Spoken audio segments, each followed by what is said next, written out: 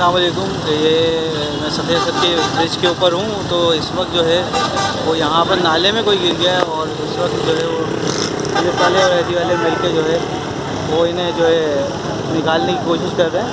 कोई नीचे गिर गया और इस वक्त ये देखें आपको लाइव दिखा रहे हैं हम यहाँ से।